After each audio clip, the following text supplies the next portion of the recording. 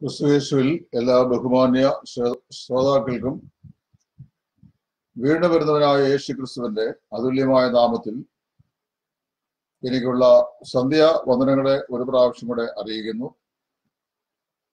നമ്മുടെ പഠന വിഷയമാകുന്ന എബ്രായ ലേഖന പഠനത്തിന്റെ ഇരുപത്തി ഒന്നാമത്തെ എപ്പിസോഡിലേക്കാണ് ഇന്ന് സന്ധ്യാസമയത്ത് നമുക്ക് വരുവാൻ ഇടയായിട്ടുള്ളത്. കഴിഞ്ഞ ദിവസം ഞാൻ ഓർപ്പിച്ച പോലെ ഇന്നലെ വൈകിട്ട് ഉണ്ടായ മിന്നൽ എന്റെ നെറ്റിന്റെ മോഡം അത് കത്തിപ്പോയി. ഇന്ന് രാവിലെ പുതിയ ഒരു മോഡം വാങ്ങി അത് ഫിറ്റ് ചെയ്ത്.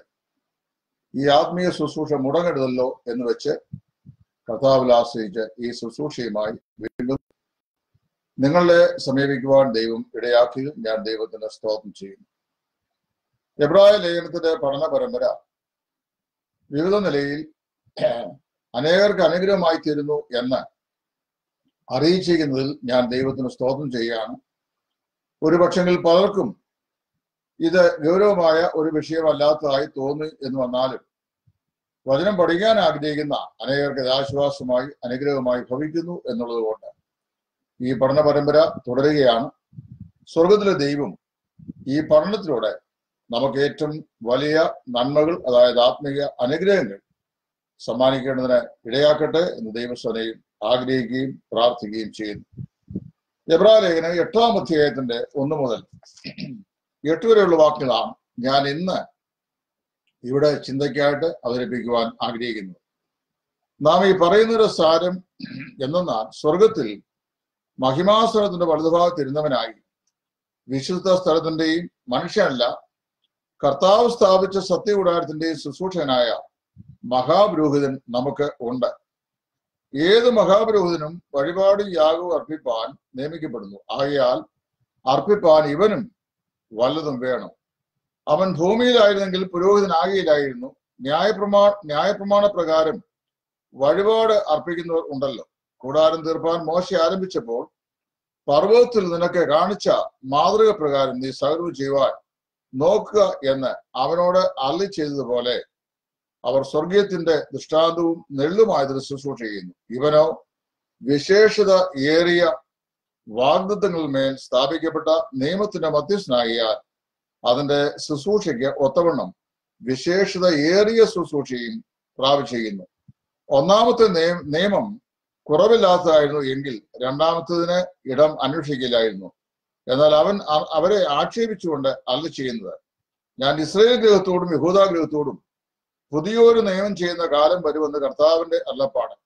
ഞാൻ അവരുടെ പിതാക്കന്മാരെ കൈക്ക് പിടിച്ച് മിസ്രൈം ദേശത്ത് കൊണ്ടുവന്ന ആൾ ഞാൻ അവരോട് ചെയ്ത നിയമം പോലെ അല്ല. അവർ എന്റെ അവർ എന്റെ നിയമത്തിൽ നിലനിൽ നിലനിന്നില്ല. ഞാൻ അവരെ ആദരിച്ചുമില്ല എന്ന് കർത്താവിന്റെ അല്ലപ്പാട്. ഈ കാലം കഴിഞ്ഞ ശേഷം ഞാൻ ഇസ്രായേൽ ഗൃഹത്തോട് ചെയ്യുവാനിരിക്കുന്ന നിയമം ഇങ്ങനെയാകുന്നു. ഞാൻ എന്റെ ന്യായപ്രമാണം അവരുടെ ഉള്ളിലാക്കി അവരുടെ ഹൃദയങ്ങളിൽ എഴുതും. ഞാൻ അവർക്ക് ദൈവമായും അവരുടെ ജനമായും ഇരിക്കും ഇനി അവരിൽ ആരും തന്റെ കൂട്ടുകാരനെയും തന്റെ സഹോദരനെയും ആ കർത്താവിനെ അറിയുക എന്ന് ഉപദേശിക്കുകയില്ല. അവർ ആപാലപ്പെടുത്തും എല്ലാവരും എന്നെ അറിയും. ഞാൻ അവരുടെ അകൃത്യങ്ങളെ കുറിച്ച് കരുണയുള്ളവനാകും. അവരുടെ പാപങ്ങളെ ഇനിയും ഓർക്കുകയുമില്ല എന്ന് കർത്താവിന്റെ അള്ളപ്പാട് കർത്താവിന്റെ അള്ളപ്പാട്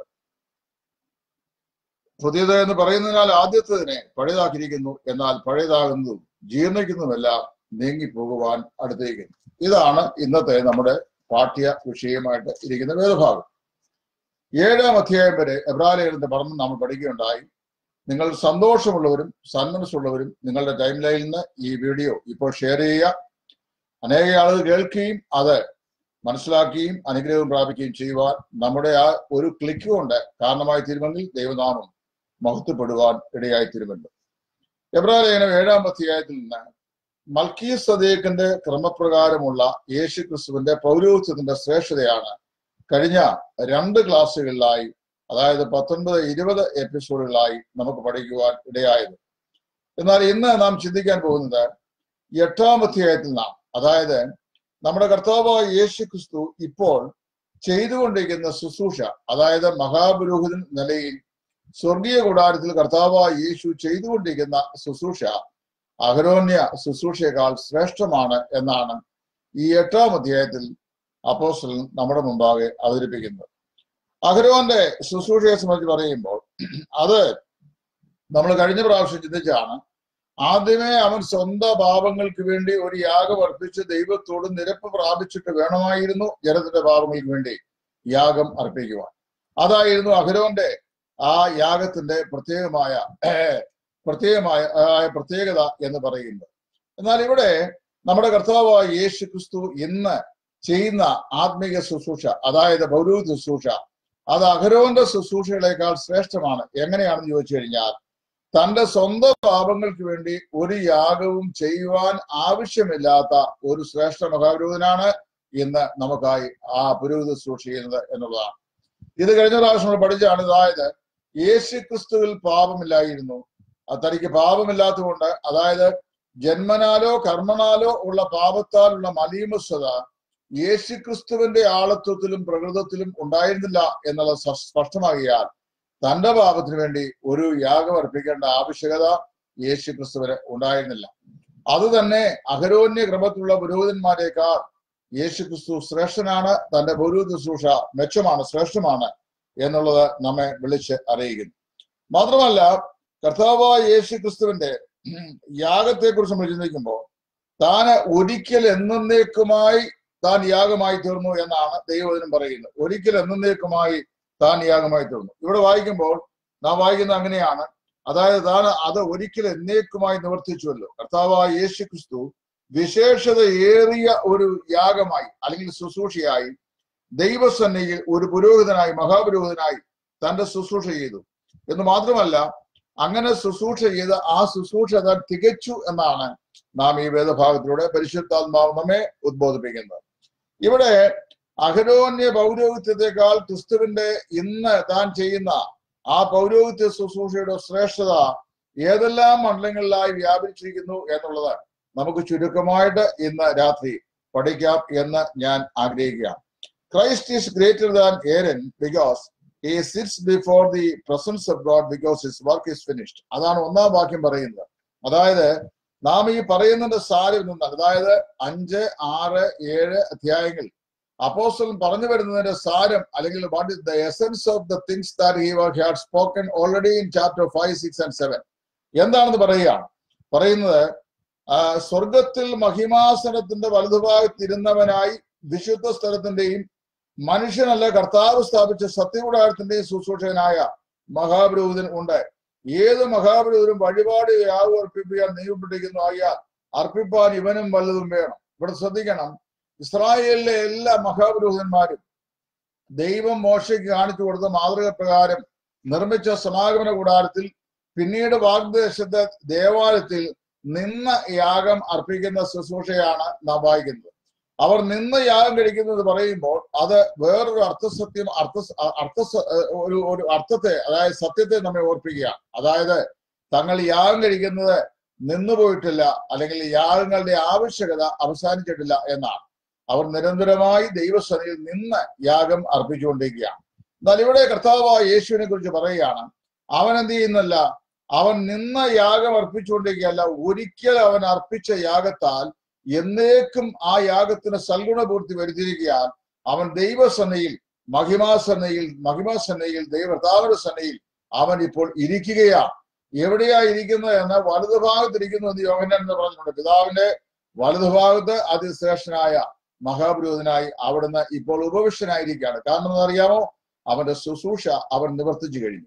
ഇനിയും അങ്ങനെ ശുശ്രൂഷ പാപങ്ങൾക്ക് വേണ്ടി കർത്താവായ യേശു ചെയ്യേണ്ട ആവശ്യമില്ല. കാരണം എന്താണെന്ന് ചോദിച്ചു കഴിഞ്ഞാൽ നമ്മുടെ പാപത്തിനുള്ള ആത്യന്തികമാകുന്ന പരിഹാരം അതായത് പാപത്തിന് വേണ്ടിയുള്ള ആത്യന്തികമാകുന്ന സാക്രിഫൈസ് അത് കർത്താവായ യേശു തന്റെ ശരീരയാകത്താൽ ക്രൂശിമേൽ നിവർത്തി ചെയ്യാൻ now he's not sitting in the manmade ടാബർനാക്കിൽ or the manmade temple but in the presence of God in heaven അതായത് മനുഷ്യ നിർമ്മിതമായിരുന്ന സമാഗമന കൂടാരത്തിലോ അല്ലെങ്കിൽ മനുഷ്യ നിർമ്മിതമായിരുന്ന ദേവാലയത്തിലോ അല്ല മറിച്ച് അത്യുന്നതനായവന്റെ സന്നിധിയിൽ സ്വർഗീയ കൂടാരത്തിൽ ദൈവസിംഹാസന്റെ വലതുഭാഗത്ത് അവൻ ഇപ്പോൾ ഇരിക്കുകയാണ്.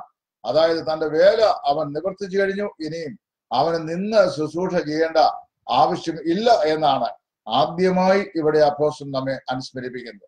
അപ്പോൾ ന്യായപ്രമാണത്തിൽ വിശേഷാൽ ലേവിയ യാഗങ്ങൾ അർപ്പിക്കുന്ന ന്യായപ്രമാണം ആക്കി വെച്ച പുരോഹി മഹാപുരോഹിതന്മാരും നമ്മുടെ കർത്താവായ യേശു ക്രിസ്തുവും തമ്മിലുള്ള അതിശക്തമായ ഒരു വ്യത്യാസം പറയുകയാണ്. അതായത് now he seated in the presence of God having completed ഈ സാക്രിഫൈസ് അതായത് തന്റെ യാഗത്തിന് പൂർത്തീകരണം വരുത്തിയ ശേഷം യേശു ക്രിസ്തു ഇന്ന് പിതാവായ ദൈവത്തിന്റെ വലതുഭാഗത്ത് ഇരിക്കുകയാണ്. അത് നിവർത്തിക്കപ്പെട്ട യാഗത്തെ കാണിക്കുന്നു. യാഗം നിവർത്തിക്കപ്പെട്ടിരിക്കാൻ പാപപരിഹാരം നിവർത്തിക്കപ്പെട്ടിരിക്കുന്നു. കർത്താവായ യേശു ക്രിസ്തുവിന്റെ ക്രൂശിലെ പരമയാഗത്തിൽ പാപത്തിന് ശാശ്വതമായ പരിഹാരം വന്നിരിക്കുന്നു എന്നാണ് നമുക്ക് അവിടെ പരിശുദ്ധാത്മാവ് വിളിച്ചു പറയുന്നത്. രണ്ടാമതായി ഇവിടെ ചിന്തിക്കാനുള്ള ചിന്ത Christ Christ is ministering in the holy sanctuary erected by the Lord. രണ്ടാം വാക്യത്തിൽ പറയുന്നത് കർത്താവ് ദൈവം ഒരുക്കിയ സ്വർഗീയ കൂടാരത്തിലാണ് ഇപ്പോൾ കർത്താവായ യേശു ശുശ്രൂഷ ചെയ്യുന്നത്. അഹരോനും അവന്റെ അനുയായികളായി വന്ന ആളുകളുമെല്ലാം മനുഷ്യനിർമ്മിതമായ കൂടാരത്തിൽ സൂക്ഷിക്കുന്നവരായിരുന്നു. എന്നാൽ കർത്താവായ യേശു പിതാവായ ദൈവത്താൽ നിർമ്മിക്കപ്പെട്ട സ്വർഗീയ കൂടാരത്തിന്റെ അതായത് കൈപ്പണി അല്ലാത്തതായ സ്വർഗീയ കൂടാരത്തിൽ ശുശ്രൂഷ ചെയ്യുന്നതായിട്ടാണ് അവിടെ രേഖപ്പെടുത്തിയിരിക്കുന്നത്. അപ്പോൾ ഒന്ന് അവൻ അഹരോനേക്കാൾ ശ്രേഷ്ഠനായ മഹാബുരു എന്ന നിലയിൽ ദൈവസന്നിധിയും പാപങ്ങൾക്ക് വേണ്ടി നിൽക്കേണ്ട ആവശ്യമില്ല.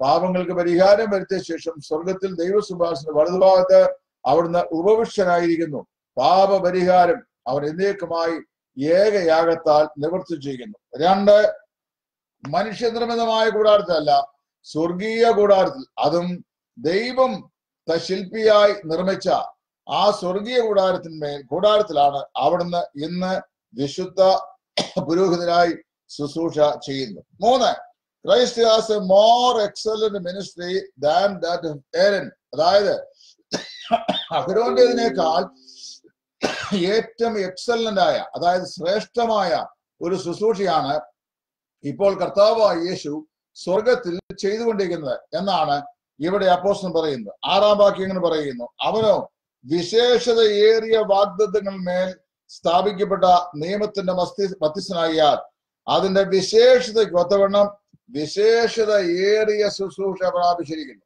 അഹരോന് കുറവുള്ളവനാണ് പാപിയാണ് മാത്രമല്ല മാനുഷികമായ ബലഹീനതയുള്ളവരാണ്.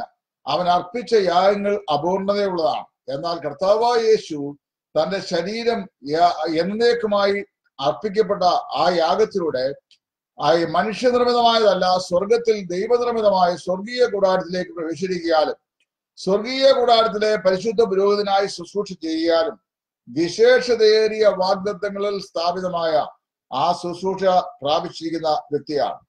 അപ്പോ ഒന്നാമത്തെ നിയമം കുറവ് ഉള്ളതായിരുന്നുകൊണ്ടാണ് രണ്ടാമതൊരു നിയമം സ്ഥാപിക്കേണ്ടതായി വന്നത് എന്നാണ് നാം അവിടെ നിന്ന് വായിക്കുന്നത്.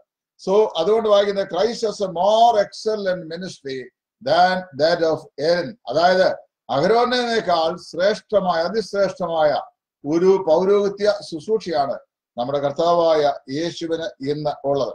നാല് Christ is the only mediator of a better covenant ആറാം വാക്യത്തിലും ഏഴാം അധ്യായത്തിന്റെ ഇരുപത്തിരണ്ടാം വാക്യത്തിൽ പറഞ്ഞിട്ടുണ്ട്. അതായത് ഒരു ഉത്തമമാകുന്ന ശ്രേഷ്ഠമായ നിയമത്തിന്റെ ശുശ്രൂഷകനായി കർത്താവായ യേശു മാറി. കുറവുള്ള ന്യായപ്രമാണത്തിന്റെ അതായത് അപര്യാപ്തതയുള്ള ന്യായപ്രമാണത്തിന്റെ പുരോഹിതനായിട്ടാണ് അഹരോൻ ശുശ്രൂഷ ചെയ്തെങ്കിൽ കുറവില്ലാത്ത അതായത് പൂർണതയുള്ള പൗരോഹിത്യത്തിന്റെ ശുശ്രൂഷകനായിട്ടാണ് കർത്താവായ യേശു ഇന്ന് സ്വർഗത്തിൽ ശുശ്രൂഷ ചെയ്യുന്നത്. അത് അതിനെക്കുറിച്ച് പറയുന്നത് he is the only mediator of a better covenant അതായത് അഹരോൻ മരണത്താൽ മാറ്റപ്പെടുന്നവനാകിയാൽ അഹരോന്റെ കടിപ്രദേശത്ത് ഉത്ഭവിച്ചു വന്ന വിശുദ്ധ പ്ര- പുരുഷ പ്രജകളായ പുരോഹിതന്മാർ പുരോഹിതപുത്രന്മാർ അനേകരായിരുന്നു പുരോഹിതന്മാരായി രംഗത്ത് വന്നുകൊണ്ടിരുന്നത്. എന്നാൽ ഇവിടെ വായിക്കുന്നത് കർത്താവായ യേശു മരണത്തില്ലാത്തവനും മരണത്തെ ജയിച്ച ജയാളിയായി ഉയർത്തുന്നതിനും ആകൊണ്ട് നമ്മൾ വായിക്കുന്നത് അവന്റെ സൃഷ്ട ശുശ്രൂഷ ഏറ്റവും ശ്രേഷ്ഠമാണ് എന്ന് മാത്രമല്ല അവൻ ഏക മധ്യസ്ഥനാണ്. അതായത് ശ്രേഷ്ഠതയേറിയ നിയമത്തിന്റെ ഏക മധ്യസ്ഥനാണ്. ആ ശ്രേഷ്ഠതയേറിയ നിയമത്തിന്റെ ഏക മധ്യസ്ഥ എന്ന വാക്ക് തിമോത്യോസ് ലേഖനത്തിൽ അപ്പോസ്റ്റലായ പോലും വാക്കുമായി യോജിക്കുന്നു. ദൈവം ഒരുവനല്ലോ ദൈവത്തിനും മനുഷ്യർക്കും മധ്യേ മധ്യസ്ഥനായവരും ഒരുവൻ. എല്ലാവർക്കും വേണ്ടി മറവിലയായി തന്നെ താൻ അർപ്പിച്ച മനുഷ്യനായ ക്രിസ്തുയേശു തന്നെ. അതായത് ദൈവത്തിനും മനുഷ്യനും മധ്യേ ഒരു മീഡിയേറ്റർ ഏക മീഡിയേറ്റർ ഏക മധ്യസ്ഥനായി വന്ന വ്യക്തിയാണ് നമ്മുടെ വാഴ്ത്തപ്പെട്ട കർത്താവായ യേശു. അതുകൊണ്ട് അവന് ഒരു പ്രത്യേകമായ പദവി ലഭിച്ചു that he's the only mediator അവൻ ആരാണ്? അവൻ ഏക മധ്യസ്ഥനാണ്. നമ്മുടെ കർത്താവായ യേശു ഏക മധ്യസ്ഥനാണ്. ഇന്ന് മധ്യസ്ഥന്മാരുടെ പ്രളയവും പ്രവാഹവും ലോകത്തിലാണ് നമ്മൾ ജീവിക്കുന്നത്.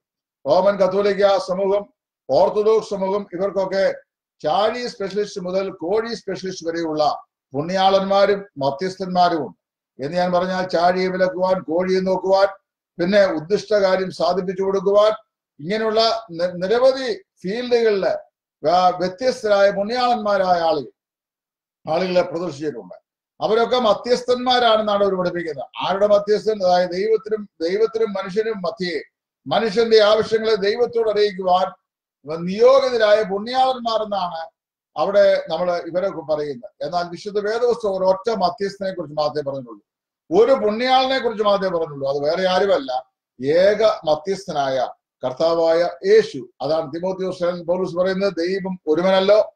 ദൈവത്തിനും മനുഷ്യർക്കും മധ്യ മധ്യസ്ഥനായവനും ഒരുവൻ എല്ലാവർക്കും വേണ്ടി മറുപടിയായി അർപ്പിച്ച കർത്താവായ ക്രിസ്തുയേശു തന്നെ. അപ്പോൾ നമ്മളിപ്പോൾ നാല് കാര്യം പഠിച്ചു. ഒന്ന് Christ is greater than Aaron because he sits before the presence of God because his work is finished. അതായത് അഹരോനേക്കാൾ ശ്രേഷ്ഠനായ മഹാപുരോഹിതനാണ് കർത്താവായ യേശു കാരണം അഹരോൻ കൂടാരത്തിൽ മനുഷ്യനിർമ്മിതമായ കൂടാരത്തിലും കർത്താവായ യേശു സ്വർഗീയ കൂടാരത്തിൽ മനുഷ്യനിർമ്മിതമല്ലാത്തതും ദൈവത്താൽ നിർമ്മിക്കപ്പെട്ടതുമായ സ്വർഗീയ കൂടാരത്തിന്റെ ശുശ്രൂഷകനായി തികയ്ക്കപ്പെട്ട അല്ലെങ്കിൽ നിവർത്തിക്കപ്പെട്ട ഒരു ശുശ്രൂഷയുടെ പുരോഹിതനായി അവിടുന്ന് ശുശ്രൂഷ ചെയ്യുന്നു Christ is ministering in the holy sanctuary erected by the Lord നമ്മുടെ കർത്താവ് പിതാവായ ദൈവം നിർമ്മിച്ച സ്വർഗീയ കൂടാരത്തിലാണ് കർത്താവായ യേശു ഇന്ന് പൗരോഹിത്യം സൂക്ഷിക്കുന്നത്. മൂന്ന് Christ has a more excellent ministry than that of Aaron അവരോരേക്കാൾ ശ്രേഷ്ഠതയേറിയ ശുശ്രൂഷയാണ് കർത്താവായ യേശു ഇന്ന് ചെയ്തുകൊണ്ടിരിക്കുന്നത്.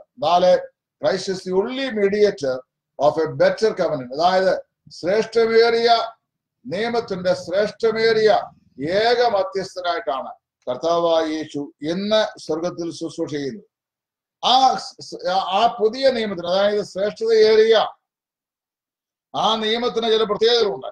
ആ പ്രത്യേകതകളൂടെ ഞാൻ ഈ സമയത്ത് ചൂണ്ടിക്കാണിക്കുവാൻ ഇവിടെ ആഗ്രഹിക്കുകയാണ്.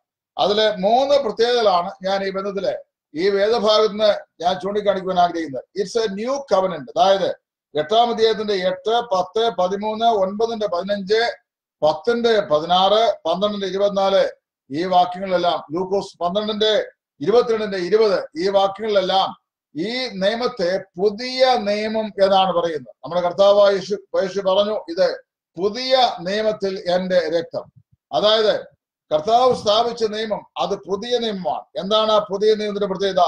ഇറ്റ്സ് എ ന്യൂ കവനന്റ് പഴയ നിയമം എന്ന് പറയുന്നത് വളരെ വ്യത്യസ്തമായ ഒന്നാണെന്നാണ് അപ്പോസ്റ്റലൻ പറഞ്ഞത് ഞാൻ ഇസ്രയേൽ ഗ്രഹത്തോട് ഇസ്രയേൽ ഗ്ര- ഗ്രഹത്തിന് നൽകിയ ഒന്നാമത്തെ നിയമം കുറവില്ലാത്തതായിരുന്നു എങ്കിൽ രണ്ടാമത്തതിന് ഇടം അന്വേഷിക്കില്ലായിരുന്നു. അപ്പോൾ ന്യായപ്രമാണം അപര്യാപ്തതയുള്ളതാണ്. അതായത് കുറവുള്ളതാണ്. അത് അതിൽ തന്നെ പൂർണത പൂർണമുള്ള പൂർണതയുള്ളതല്ല. അതിന് ആരെയും സാറ്റിസ്ഫൈ ചെയ്യാൻ സാധിക്കുകയില്ല.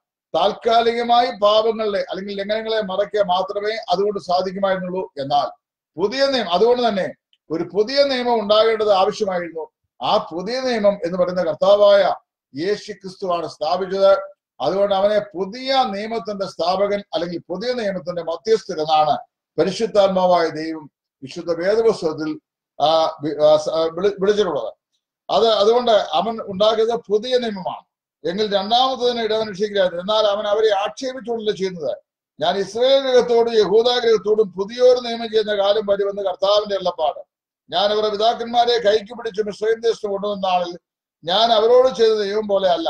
അവർ എന്റെ നിയമത്തിൽ നിലനിന്നില്ല. ഞാൻ അവരെ ആദരിച്ചതില്ല എന്ന് കർത്താവിന്റെ എല്ലപ്പാട് ഈ കാലം കഴിഞ്ഞ ശേഷം എന്ന് പറഞ്ഞാൽ ന്യായപ്രമാണം കഴിഞ്ഞ ശേഷം ആദ്യ നിയമം അത് അവസാനിച്ച ശേഷം ആദ്യ നിയമം അവസാനിച്ചത് കർത്താവായ യേശു ക്രിസ്തുവിന്റെ കാൽവറിലെ ക്രൂശിലാണ്. അതിനുള്ള തെളിവുകൾ മുമ്പൊരു വീഡിയോയിൽ ഞാൻ പറഞ്ഞ കർത്താവായ യേശു ന്യായപ്രമാണ പൗരോഹിത്യം എന്നേക്കുമായി പര്യവസാനിച്ചിരിക്കുന്നു ആദ്യ നിയമം സീൽ ചെയ്യപ്പെട്ടിരിക്കുന്നു. ഇനി അതിന് പ്രസക്തിയില്ല. പുതിയ നിയമം സ്ഥാപിതമായിരിക്കുന്നു. പുതിയ നിയമത്തിന്മേലാണ് ഇന്ന് വിശ്വാസികളായ നാം നിലനിൽക്കുന്നത് എന്നുള്ളതിന്റെ തെളിവിലേക്ക് ഞാൻ മുമ്പൊരിക്കൽ ഒരു വീഡിയോയിൽ പറഞ്ഞാണ് ക്ലാസ് പറഞ്ഞാണ്. ഒന്ന് നമ്മുടെ കർത്താവായ യേശു യേശുവിനെ വിസ്തരിക്കുന്ന സമയത്ത് നീ പറക നീ അത്യുന്നതനായ ദൈവത്തിന്റെ പുത്രനോ? എന്ന് മഹാപുരോഹിതൻ ചോദിക്കുകയിൽ "ഏഹ്, ഞാനാകുന്നു എന്ന് നമ്മുടെ കർത്താവായ യേശു ഉത്തരം പറഞ്ഞു. അപ്പോൾ അവർ പറഞ്ഞത് ഇനിയും നമുക്ക് സാക്ഷികളെ കൊണ്ട് എന്ത് ആവശ്യം? നാം തന്നെ ദൈവദൂഷണം കേട്ടുമല്ലോ അതായത് ഈ താൻ ദൈവമാണെന്ന് ഭൂമിയിൽ ഒരു മനുഷ്യൻ വന്ന് പറഞ്ഞു കഴിഞ്ഞാൽ അവനെ കല്ല് കൊന്നുകളയണമെന്നാണ് ഇസ്രായേലിന്റെ ന്യായപ്രമാണം പറയുന്നത്. കാരണം അവൻ ദൈവദൂഷണം പറയുന്നവനാണ്. തന്നെ താൻ ദൈവമാക്കുന്നവനാണ്. ഒരു വേള കർത്താവായ യേശു ക്രിസ്തു ചോദിച്ചു നിങ്ങൾ എന്നെ കല്ലെറിയുവാനായി അല്ലെങ്കിൽ കൊല്ലുവാൻ ഭാവിക്കുന്നത് എന്ത്? ഞാൻ ചെയ്ത ഏത് പ്രവൃത്തി നിമിത്തമാകുന്നു നിങ്ങളെ കല്ല് ചെയ്യുവാൻ ശ്രമിക്കുന്നത് എന്ന് ചോദിച്ചപ്പോൾ അവർ പറഞ്ഞത് നീ ചെയ്ത പ്രവൃത്തി നീ നിന്നെ തന്നെ മനുഷ്യനായിരിക്കെ ദൈവമാക്കുകൊണ്ട് അത്രേ ഞങ്ങൾ നിന്നെ എറിയുവാൻ കല്ലെടുത്തത്. അതായത് ഒരു മനുഷ്യൻ ഇസ്രായേലിൽ വന്നിട്ട് അവൻ ദൈവമാണെന്ന് പറഞ്ഞു കഴിഞ്ഞാൽ അവനെ ജനത്തിന്റെ ഇടയിൽ നിന്ന് ഛേദിച്ചു കളയുക എന്നുള്ള ന്യായപ്രമാണത്തിന്റെ നിവർത്തിയ നിലയിലാണ്. കർത്താവായ യേശുവിനെ എറിയുവാൻ അവർ കല്ലെടുത്തതും തരം അന്വേഷിച്ചത്. അങ്ങനെയിരിക്കെയാണ് വിസ്താരവേളയെ മഹാപുരോഹിതന് ചോദിച്ചു നീ പറക നീ അത്യുന്നതനായവന്റെ പുത്രനാണോ? എന്ന് ചോദിച്ചപ്പോൾ കർത്താവ് പറഞ്ഞു ഞാനാകുന്നു. എന്ന് മാത്രമല്ല ഇനി മനുഷ്യപുത്രൻ ആകാശമേഘങ്ങളിൽ തന്റെ തേജസ്സിൽ വരുന്നത് നിങ്ങൾ കാണും എന്ന് മഹാപുരോഹിതന്മാരോട് കർത്താവായ യേശു പറഞ്ഞു. അപ്പോൾ അവർ പറഞ്ഞത് ഇനിയും സാക്ഷികളെ കൊണ്ട് എന്ത് ആവശ്യം? നാമന്റെ വായിൽ തന്നെ നാം ദൈവദൂഷണം കേട്ടുവല്ലോ എന്ന് പറഞ്ഞ് മഹാപുരോഹിതൻ തന്റെ പുരോഹിത വസ്ത്രം കീറിക്കളഞ്ഞു എന്നാണ് നമ്മൾ വായിക്കുന്നത്. സോറി സോറി എനിക്ക് അല്പം കഫക്കെട്ടിന്റെ പ്രശ്നം ഉണ്ടായിട്ട് ഞാൻ കുറെ നാളായി ട്രീറ്റ്മെന്റ് ആണ്. അതാണ് ക്ഷമ ക്ഷമിക്കണം. അപ്പോൾ ഇവിടെ ഈ മഹാപുരോഹിതന്റെ വസ്ത്രം കീറി. മഹാ ഇസ്രായേലിലെ മഹാപുരോഹിതനെ സംബന്ധിച്ച് അവൻ ചെയ്യാൻ പാടില്ലാത്ത രണ്ട് മൂന്ന് കാര്യങ്ങൾ പറഞ്ഞിട്ടുണ്ട് ന്യായപ്രമാണത്തിൽ ഒന്ന് മഹാപുരോഹിതൻ തന്റെ തലമുടി അത് പിച്ചിപ്പറിക്കരുത്. അതായത് അവന്റെ തലമുടി പിച്ചിപ്പറിക്കരുത് തന്റെ ദേഹം വിരൂപമാക്കരുത്. രണ്ട് മഹാവിരോധി തന്റെ വസ്ത്രം കീറരുത്. അവൻ തന്റെ ശരീരത്തെ ശവശരീരങ്ങളാൽ നീ തന്നെ താൻ അശു അശുദ്ധരാക്കരുത്. അതിൽ അതിപ്രധാനമായ ഒന്നാണ് തന്റെ ശരീരം വികൃതമാക്കുകയോ തന്റെ തലമുടി അത് പിച്ചിപ്പറിക്കുകയോ അതുപോലെ വസ്ത്രം കീറുകയോ ചെയ്യാൻ പാടില്ല. ഇത് വളരെ റിജിഡ് ആയിട്ടുള്ള നിയമമാണ്. പക്ഷെ ഇവിടെ വായിക്കുന്നു ആ കാലഘട്ടത്തിലെ മഹാപുരോഹിതൻ നമ്മുടെ കർത്താവായ യേശു ദൈവമാണ് എന്ന് പരസ്യമായി പറഞ്ഞു കഴിഞ്ഞപ്പോൾ അതായത് ദൈവപുത്രനാണെന്ന് പരസ്യമായി പറഞ്ഞു കഴിഞ്ഞപ്പോൾ ദൈവദൂഷണം ചുമത്തി മഹാപുരോഹിതന്റെ വസ്ത്രം കയറി അതിന്റെ അർത്ഥം എന്താ ചോദിച്ചു കഴിഞ്ഞാൽ പൗരോഹിത്യം ന്യായപ്രമാണ പൗരോഹിത്യം അവിടം കൊണ്ട് കീറപ്പെട്ടു പോയി അവസാനിച്ചു പോയി എന്നാണ്. ഇനി അത് ആർക്കെങ്കിലും അംഗീകരിക്കാൻ പ്രയാസമുണ്ടെങ്കിൽ കർത്താവായ യേശുവിന്റെ ക്രൂശീകരണ സമയത്ത് നമ്മൾ വായിക്കുന്നു ഏതാണ്ട് ആറാം മണി മത്താട് സുവിശേഷം ഇരുപത്തിനാല്. ആറാം മണി നേരം മുതൽ ഒൻപതാം മണി വരെ ദേശത്തെല്ലാം വലിയ ഇരുട്ടുണ്ടായി. ഏകദേശം ഒൻപതാം മണി നേരമായപ്പോൾ യേശു ഏലി ഏലി ലമ്മ ശബക്താനി എന്റെ ദൈവമേ എന്റെ ദൈവമേ നീ എന്നെ കൈവിട്ടത് എന്തെന്ന് ഉറക്ക നിലവിളിച്ച് നിലവിളിച്ചു. അപ്പോൾ നാം വായിക്കുന്ന മത്തായി രേഖപ്പെടുന്നു. ദൈവ മന്ദിരത്തിലെ തിരശീല ഇരുപത്തിയേഴാം അധ്യായം. മുകൾ തൊട്ട് അടിയോളം രണ്ടായി ചീന്തിപ്പോയി. മത്തായി ഇരുപത്തിയേഴ്. ദൈവ ദൈവമന്ദിരത്തിലെ തിരശീല മുകൾ തൊട്ട് അടിയോളം രണ്ടായി ചീന്തിപ്പോയി. ഇത് ഞാൻ പറയുന്ന കാര്യങ്ങൾ നിങ്ങൾ പ്രത്യേകം ശ്രദ്ധിച്ച് കേൾക്കണം. ഇത് ഇതുവരെയുള്ള ശ്രദ്ധിച്ച് കേട്ടില്ല എന്നല്ല ഞാൻ പറഞ്ഞതിന്റെ അർത്ഥം. ഞാൻ പറയാൻ പോകുന്നത് അത്യന്തം ഗൗരവമുള്ള വിഷയമാണ്. അതുകൊണ്ട് ശ്രദ്ധിച്ച് കേൾക്കണം.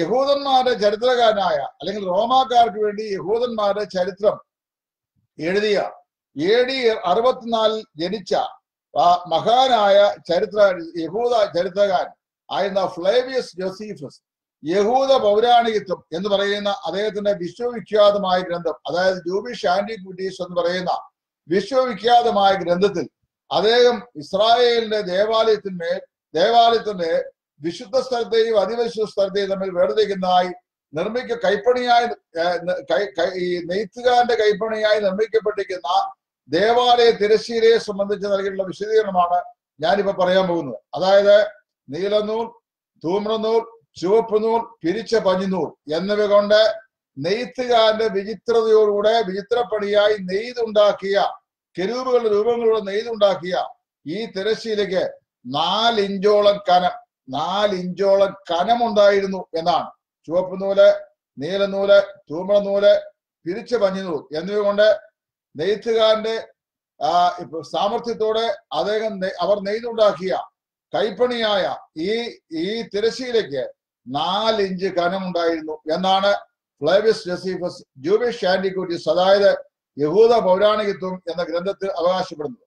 അങ്ങനെയാണെങ്കിൽ ആ തിരശീല നമ്മുടെ കർത്താവായ യേശു ക്രിസ്തുവിന്റെ ക്രൂശീകരണ വേളയിൽ മുകൾ തൊട്ട് അടിയോളം രണ്ടായി ചിന്തി പോയി എന്ന് പറഞ്ഞു കഴിഞ്ഞാൽ ആ തിരശീല വിശുദ്ധ സ്ഥലത്തെയും അതിപരിശുദ്ധ സ്ഥലത്തെയും തമ്മിൽ മറച്ചിരുന്നു. സാധാരണക്കാരായ വിശ്വാസിക്ക് അതിപരിശുദ്ധ സ്ഥലത്തേക്ക് പ്രവേശിക്കാനുള്ള പ്രവേശനാനുമതി നിഷേധിച്ച തിരശീല സ്വർഗം തന്നെ മുകളിൽ നിന്ന് താഴേക്ക് രണ്ടായി ചീന്തിക്കളഞ്ഞു എന്നാണ് എന്റെ അർത്ഥം എന്ന് പറഞ്ഞു കഴിഞ്ഞാൽ മാനുഷികമായിരുന്ന പൗരോഹിത്യം ഇവിടെ പര്യവസാനിച്ചിരിക്കുന്നു. അതിപരിശുദ്ധ സ്ഥലത്തേക്ക് പ്രവേശിക്കാനുള്ള വിലക്ക് ഇവിടെ നീക്കപ്പെട്ടിരിക്കുന്നു. അതാണ് കർത്താവ് പിന്നെ പറഞ്ഞ മത്തായി പേരിടില്ല രണ്ടോ മൂന്നോ പറയുന്ന നാമത്തിൽ കൂടി വരുന്ന ഇടതൊക്കെയും അവരുടെ നടുവിൽ ഞാനുണ്ട് എന്ന്. പ്രത്യേകം മനസ്സിലാക്കണം. അതുകൊണ്ട് ഈ ന്യായപ്രമാണ പൗരോഹിത്യത്തിന് തിരശീലയിട്ടു പുതിയ നിയമം. അങ്ങനെ കർത്താവ് എന്ത് ചെയ്തു? തന്റെ പുതിയ നിയമം സ്ഥാപിച്ചു. ഞാൻ ആ നാളുകളിൽ അവരോട് ചെയ്യുവാനിരിക്കുന്ന എന്റെ നിയമം ഇങ്ങനെയാകുന്നു. ഞാൻ എന്റെ ന്യായപ്രമാണം അവരുടെ ഉള്ളിലാക്കി അവരുടെ ഹൃദയങ്ങൾ എഴുതും. ഞാൻ അവർക്ക് ദൈവമായും അവർക്ക് ജനമായും ഇരിക്കും. ന്യായപ്രമാണം ഇസ്രായേൽ ലഭിച്ചത് രണ്ട് കൽപ്പലകളിൽ മേൽ ദൈവത്തിന്റെ വിരലുകളാൽ എഴുതപ്പെട്ടതായിട്ടാണ്. എന്നാൽ പുതിയ നിയമത്തിന്റെ ശ്രേഷ്ഠ പറയുന്നത് അത് വിശ്വസിക്കുന്നവരെ ഹൃദയത്തിന്റെ മാംസ പലകയും പരിശുദ്ധാത്മാവിനാൽ എഴുതപ്പെടുന്ന നിയമമാണ്. അതാണ് പുതിയ നിയമം എന്ന് പറയുന്നത്. ഇവിടെ ശക്തമായ മഴ വരുന്നു. ഇന്നലെ എന്റെ മോഡം പോയതാണ്. മിന്നലുണ്ടാകാൻ സാധ്യതയുണ്ട്. ഞാൻ വളരെ വേഗത്തിൽ ഈ ഭാഗം നിർത്തുന്നു. രണ്ട് a new covenant which makes us pure. പത്താം അധ്യായത്തിന്റെ ഇരുപത്തി ഒമ്പത് ഭാഗത്തിൽ പറഞ്ഞുകൊണ്ട് ഈ പുതിയ നിയമം നമ്മെ വിശുദ്ധീകരിക്കുന്ന നിയമമാണ്. അതായത് നമ്മെ സമ്പൂർണമായി ശുദ്ധീകരിക്കുന്ന നിയമമാണ്. മൂന്ന് കവനന്റ് വിച്ച് ഈസ് ഇറ്റേണൽ ഇത് നിത്യ നിയമമാണ് ഹൃദയത്തിന്റെ മാംസഫലയിൽ ദൈവത്തിന്റെ പരിശുദ്ധാത്മാവിനാൽ ആഴത്തിൽ എഴുതപ്പെട്ടിരിക്കുന്ന നിത്യ നിയമം വിശുദ്ധ നിയമം അതാണ് ഈ നിയമം പുതിയ നിയമം.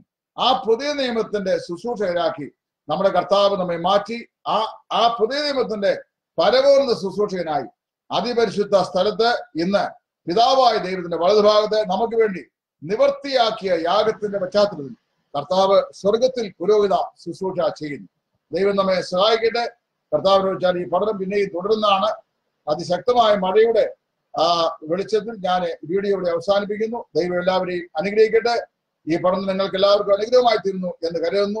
കർത്താവിന് നാം മഹത്വപ്പെട്ട് കർത്താവിന്റെ പേരിൽ സുവിശേഷം ടൈറ്റസ് ഇടയാറുള്ള. Thank you.